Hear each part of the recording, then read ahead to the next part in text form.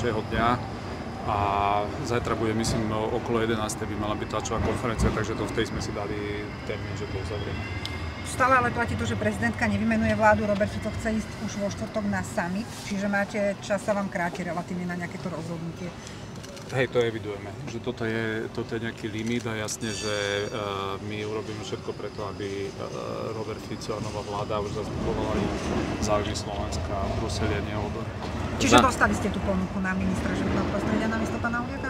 To žiadne, nebudem detaily z tohoto vynašať, ale sme sa dohodli, že, že uzavrieme tie rokovania zajtra a, a v podstate sa bavíme o tom celkom takom fungovaní a dohodneme sa. Čiže ste zastavili teraz na nejakom pate, lebo akože aj ste povedali, že evidujete, že ten čas sa kráti, napriek tomu to bude na poslednú, poslednú chvíľu tým pádom, či? Tak e, bude to v časovom limite, to rozhodnutie prijaté a hovorím zajtra tak pracovne o 11.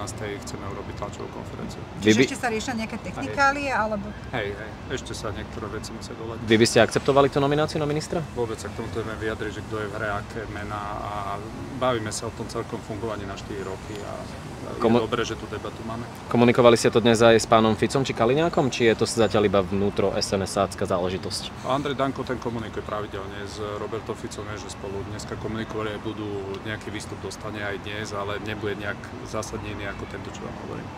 Dobre.